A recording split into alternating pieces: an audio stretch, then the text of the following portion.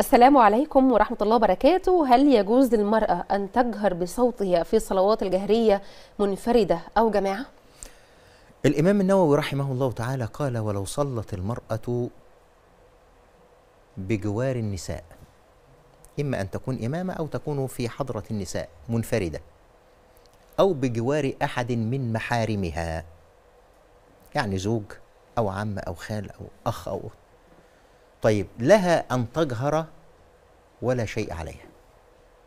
طيب ولو في وجود أجنبي الأفضل إنها توطي صوتها. توطي الصوت. طب ولو جهرت؟ صوتها مش عورة والصلاة ليست باطلة عشان نخلي بالنا من دي. نعم. يبقى لو جهرت في وجود أجنبي الصوت مش عورة وصلاتها ليست باطلة. ولكن بنذكر إن ال- ال- الفقهاء عايزين يعملوا يعني حالة من مش من الضغط أو لا حالة من السياج الأدبي آه. الجميل نعم.